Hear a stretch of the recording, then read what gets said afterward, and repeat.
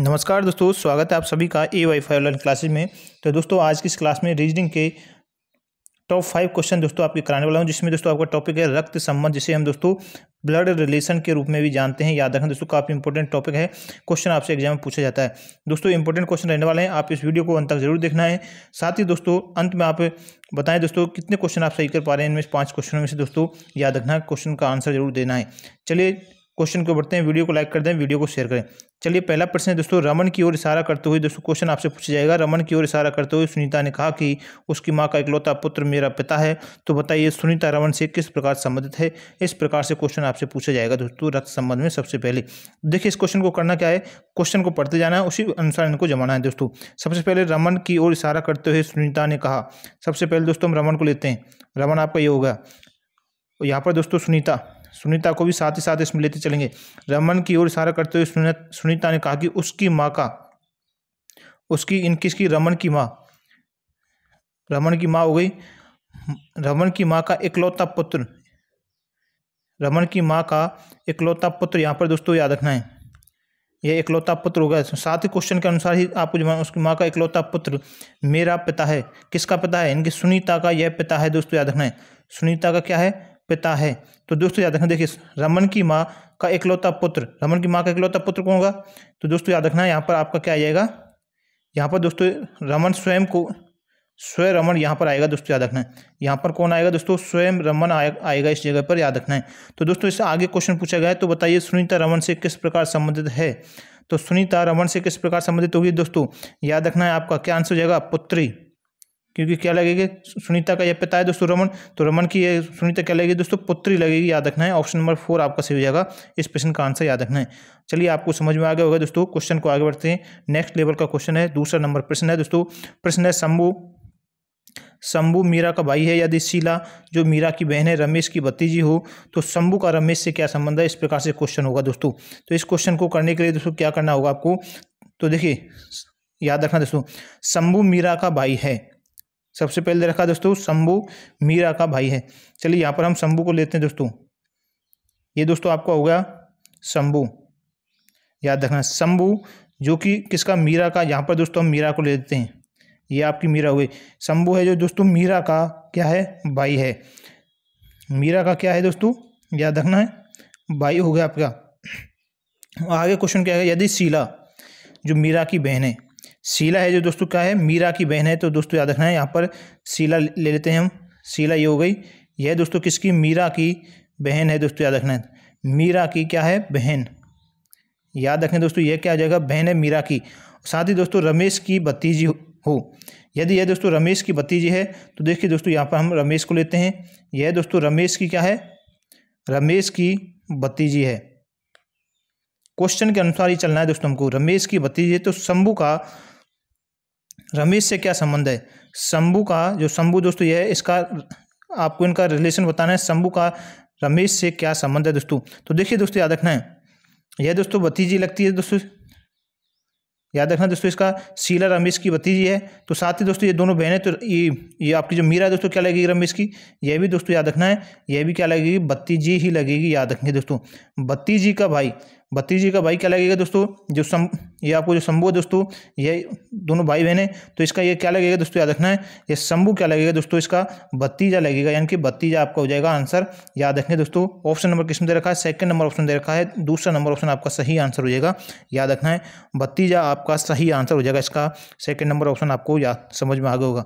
चलिए आगे बढ़ें, अगले क्वेश्चन का प्रश्न नंबर तीसरा है दोस्तों, प्रश्न ए बी सी तीन ए, बी और सी का भाई है, डी, सी की माँ है। यदि ई, ए का पिता है तो निम्नलिखित में से कौन सा कथन निश्चित रूप से सत्य नहीं माना जा सकता, उसे आपको बताना है दोस्तों।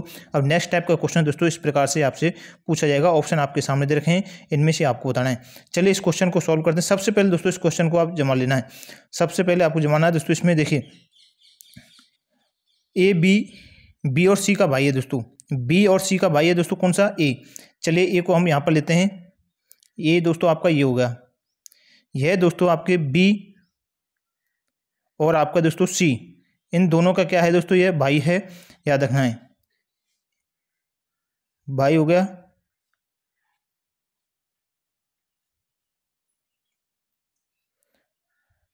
ये भी दोस्तों उसका क्या होगा? भाई होगा। ये दोनों दोस्तों क्या हैं? बी और सी के भाई हैं। डी सी की माँ है। अब डी है दोस्तों, यहाँ पर हम डी को यहाँ पर ले लेते हैं। डी है जो आपकी इसकी सी की क्या है? माँ। डी, सी की माँ है। और साथ ही दोस्तों आगे दे रखा है, यदि ई, ए का पिता है, यदि यदि हम बात करें ई, दोस्तों, ये ई होगा यह दोस्तों क्या है? ए का पिता है, दोस्तों।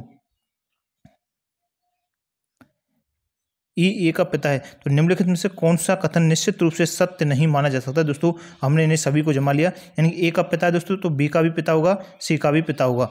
याद रखना है। अब चलिए ऑप्शन सबसे पहले रखा है। ई, बी का पिता है दोस्तों। सबसे पहला ऑप्शन दे रखा है, ई, बी का पिता है। देखो, ई है, ये ई हो गया दोस्तों, बी का पिता दोस्तों, बिल्कुल होगा। ए का भाई है तो यह भी दोस्तों इसका क्या हो जाएगा? पिता हो जाएगा दोस्तों, याद रखना यह भी क्या है? इसका क्या है? पिता ही होगा दोस्तों, याद रखना है। अब आगे देखिए, ये ऑप्शन तो सही है। ई डी का पति है। ई है जो दो, दोस्तों डी का पति है। बिल्कुल इनका दोस्तों माँ है तो ये आपकी ई डी की क्या हो जाएगी? पत्नी होगी दोस्तों याद रखना है। यह ई ई है जो डी का पति है बिल्कुल आपका सही है। अब नेक्स्ट इसमें रखा है दोस्तों ए डी का पुत्र है। ए डी का पुत्र बिल्कुल होगा क्योंकि सी सी की माँ है दोस्तों ये तो सी दोनों भाई हैं तो ए ये दोस्तों आपकी डी की क्या हो जाएगी?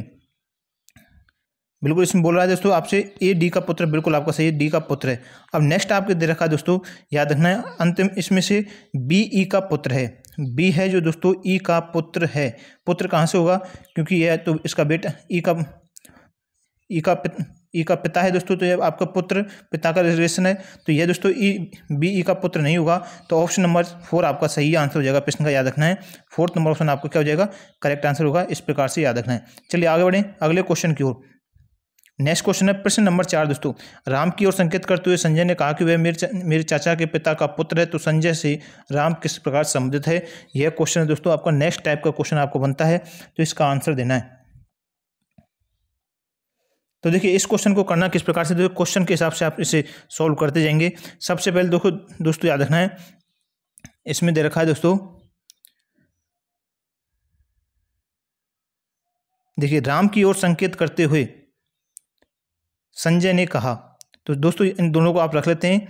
राम आपका यहाँ पर हो जाएगा। दोस्तों, राम ये हो गया आपका याद रखेंगे राम की ओर संकेत करते हुए संजय ने कहा, संजय आपका यहाँ पर हो गया दोस्तों। तो संजय ने राम की ओर संकेत किया है।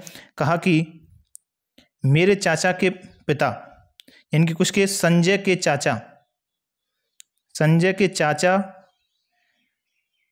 संजय के चाचा के पिता। तो दोस्तों, आगे बढ़ते हैं पिता की ओर। ये होगा दोस्तों पिता। संजय के चाचा के पिता का पुत्र। पिता का पुत्र दोस्तों कौन होगा?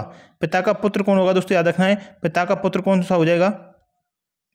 तो राम ही होगा दोस्तों, पिता का पिता का पुत्र। दोस्तों ये आपका होगा पिता का पुत्र। तो दोस्तों याद रखना है, पिता का पुत्र है तो संजय राम से किस प्रकार संबंधित है? अब आगे दोस्तों आपको बताना है, देखिए ये आपका दोस्तों रिलेशन हमने बैठा लिया है। तो देखिए दोस्तों याद रखना है तो ये दोस्तों संजय का यहाँ पर, ये संजय का जो ये पता है दोस्तों यहाँ पर, ये संजय का क्या लगेगा? याद रखना दोस्तों, ये भी संजय के क्या लगेंगे दोस्तों? संजय के क्या होंगे? पिता होंगे। संजय के क्या है? ये भी दोस्तों यहाँ पर पिता होंगे दोस्तों, याद रखना है। रमेश और संजय दोस्तों, याद रखना है इनका इसके भी पिता होंगे। तो दोस्तों, आपका रिलेशन पूछा गया, संजय से राम किस प्रकार संबंधित है? संजय और राम दोस्तों, ये किस प्रकार संबंधित हैं? तो दोस्तों, याद रखना, भाई का संबंध होगा इन दोनों का, क्योंकि दोनों के पिता सेम है, क्योंकि संजय के चाचा के पिता पिता यहाँ पर होगा। तो पिता के पुत्र कौन होगा? रमेश है। रमेश और और संजय दोनों क्या होंगे? भाई आपका ऑप्शन नंबर फोर आपका सही हो जाएगा। इस प्रकार से दोस्तों याद रखना है। फोर्थ नंबर ऑप्शन आपका क्या हो जाएगा? बिल्कुल सही आंसर होगा। चलिए, समझ में आ गया होगा। नेक्स्ट क्वेश्चन के बढ़ते हैं। अगला क्वेश्चन है, प्रश्न नंबर पाँच है। प्रश्न है दोस्तों, एक लड़की की ओर तस्वीर एक लड़की की तस्वीर की ओर संकेत करते हुए प्रमोद ने कहा कहा कि वह मेरी बहन की माँ के पति पति की पुत्र वधु है। यदि प्रमोद का कोई भाई नहीं हो तो बताइए वह लड़की प्रमोद से किस प्रकार संबंधित है? क्वेश्चन आपके ऑप्शन आपके दे रखेंगे। इस प्रकार का नेक्स्ट लेवल का क्वेश्चन आपसे पूछा जाएगा। तो देखिए, इस प्रकार के क्वेश्चन को करना है। तो देखिए, सबसे पहले आप क्वेश्चन के अनुसार आप सीधे सीधे चलते चलें। क्वेश्चन जिस प्रकार से बोल रहा है, उसी अनुसार आपको चलना होगा। देखिए, सबसे पहले करना क्या है? क्वेश्चन क्या कह रहा है? एक लड़की की तस्वीर की ओर संकेत करते हुए प्रमोद ने कहा, चलिए, हम यहाँ पर लड़की को लेते हैं दोस्तों। यानी कि जी से हम डिनोट करते हैं लड़की को। याद रखना एक लड़की की ओर संकेत करते हुए प्रमोद ने कहा, प्रमोद, आपका ये हो गया दोस्तों। इसकी ओर ये संकेत कर रहा है। संकेत करते हुए प्रमोद ने कहा कि मेरी बहन की माँ के, मेरी बहन, सबसे पहले दोस्तों, किसकी? प्रमोद की बहन बहन हो गई। प्रमोद की, मेरी बहन की माँ के, बहन का, इसकी माँ दोस्तों, माँ होगा। माँ के पति की, पति, सबसे पहले दोस्तों आपको ये होगा इसका, माँ का पति होगा। पति की पुत्र वधु है पति की पुत्र वधु है कौन? दोस्तों, याद रखना है, वह लड़की है दोस्तों, पुत्र वधु होगी। कौन होगी दोस्तों? लड़की। पुत्र वधु हो गई दोस्तों, ये लड़की दोस्तों, याद रखना है। इस प्रकार से दोस्तों, ये रिलेशन आपका बैठेगा। अब दोस्तों, याद रखना, यदि प्रमोद का कोई भाई नहीं है, आपके आगे कंडीशन दे रखी, प्रमोद का कोई भी भाई नहीं हो तो बताइए लड़की प्रमोद से किस प्रकार संबंधित है? तो दोस्त, देखिए दोस्तों, अब आपको पता चलना चाहिए, दोस्तों, यहाँ पर ये पति है, दोस्तों, ये बहन है तो इसका यह क्या लगेगा दोस्तों? प्रमोद की बहन होगी बहन यहाँ पर हो गई दोस्तों, बहन की माँ। तो इसकी प्रमोद की भी माँ लगेगी। माँ का पति, प्रमोद का क्या लगेगा दोस्तों, याद रखना, पिता लगेगा। आपको यह भी रिलेशन याद होना चाहिए, तभी आप इस क्वेश्चन को कर पाएँगे। यह भी दोस्तों क्या लगेगा पिता लगेगा। पिता की पुत्र वधु। पिता की पुत्र वधु किसे कहते हैं दोस्तों? याद रखना है पिता जो है, अपने लड़के की पत्नी को पुत्र वधु के रूप में जानता है। तो दोस्तों, आप पूछा गया लड़की वह लड़की प्रमोद से किस प्रकार संबंधित है? तो किस प्रकार से संबंधित होगी दोस्तों? याद रखना है, यह दोस्तों किस प्रकार का संबंधित संबंध होगा? पत्नी का संबंध होगा। याद रखना प्रमोद की क्या लगेगी? वह लड़की पत्नी लगेगी, जिसकी ओर इशारा करने के लिए बोल रहा है। तो आपका ऑप्शन नंबर कौन सा सही आंसर हो जाएगा दोस्तों? याद रखना सेकंड नंबर ऑप्शन आपका सही आंसर हो जाएगा। इस प्रश्न का आंसर दोस्तों, ये थे क्वेश्चन दोस्तों, आपके लिए इंपॉर्टेंट क्वेश्चन थे आपके ब्लड रिलेशन यानी कि रक्त संबंध के संबंधित क्वेश्चन है, दोस्तों। वीडियो को आप सभी एक बार शेयर कर दें। यदि आपको वीडियो हेल्पफुल लगा हो तो दोस्तों चैनल को सब्सक्राइब कर लेना। आपकी एक क्लास रोज़ाना आती है रीजनिंग की इस चैनल पर, दोस्तों, जुड़े रहें। वीडियो को लाइक करें वीडियो को शेयर करें और चैनल को सब्सक्राइब कर लें। मिलते हैं नेक्स्ट वीडियो में। धन्यवाद।